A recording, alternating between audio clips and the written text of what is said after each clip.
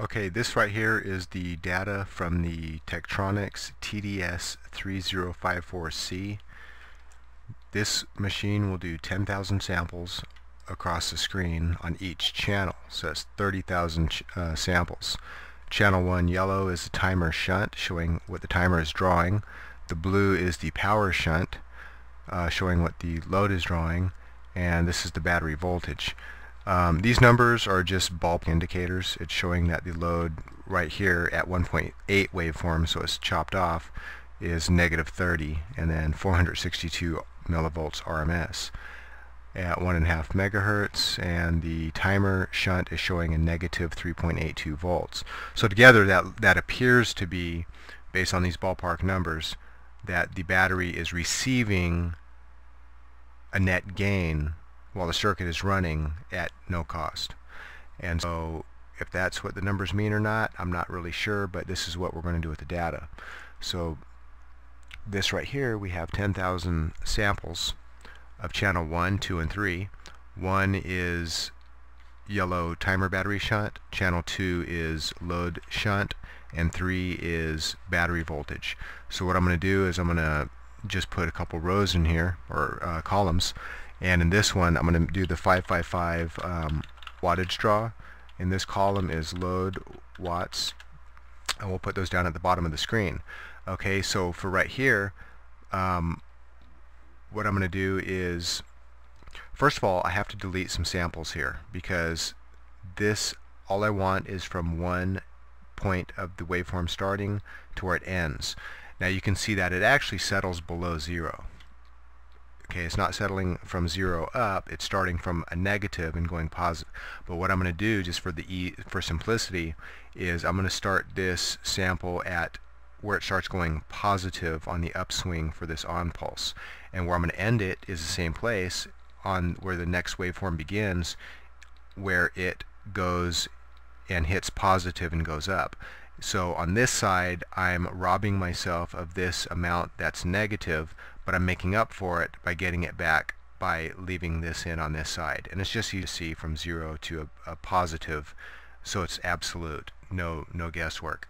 And so what I'm going to do is uh, channel 2 here, this is the load, and you can see that it's negative right here, and then it switches on, and then it go starts going positive and it starts going positive right here which means the first 96 I'm just going to make a note of that uh, 96 samples will have to come out. At the very end, this is 10,000 samples across the screen. This is at the 600 mark, or 6, 6 out of 10 mark, which means that the um, this full complete waveform ends at 6,000 samples. So what I'm going to do is come down to 6,000 samples, right around 6,000 samples.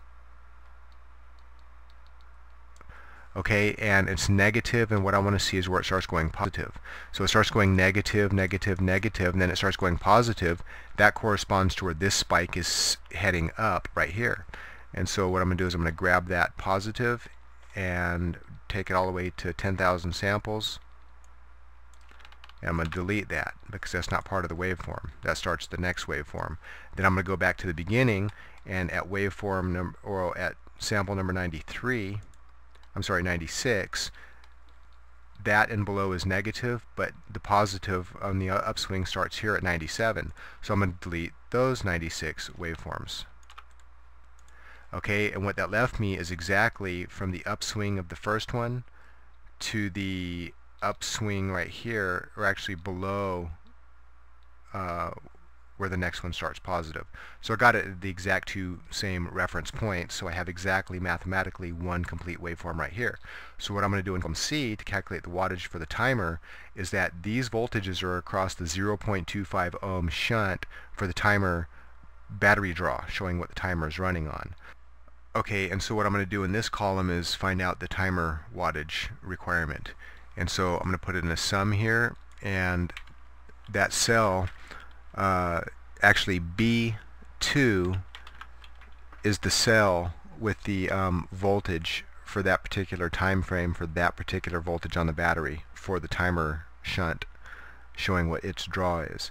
So B2 divided by 0.25 ohms on that resistant resistor, and I'm going to multiply it by F2, which is the battery voltage, and I got that, that many watts. What I'm going to do is I'm going to grab it and I'm going to drag it down through all six, or almost 6,000 samples. Okay, I passed it up. Okay, right there. So this column C is all the wattages for each uh, 5,000, almost 6,000 samples with a corresponding battery voltage at each of those times. And so what I'm going to do there is take the sum and I'm going to divide it by 5,880, not 5,000, not 5,881 because I left the first row which indicates the names of the columns.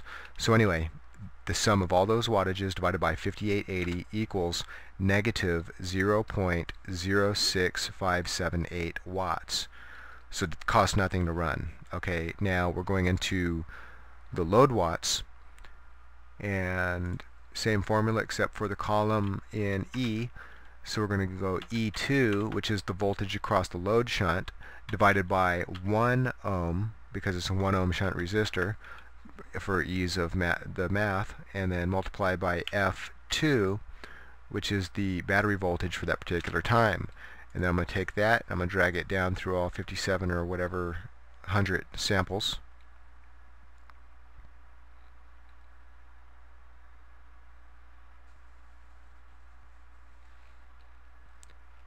Pass that by a long shot. Okay, right here.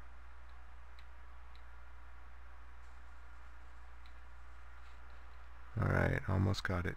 Okay, right there. Okay, I'm going to get the sum of that, and I'm going to divide that by 5880 samples. And we have a negative 0.0682 watts that the load is running on. And so this, I'll just make a little space here to make it easier to see. This is the 555 watts.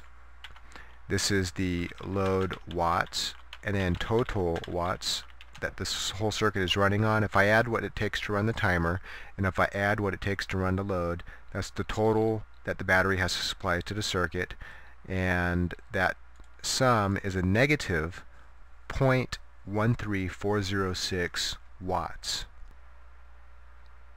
This is showing that these waveforms are negative in nature, negative dominant, and there's more going on below the line than above on the wattage, real negative power. This is negative energy, possibly.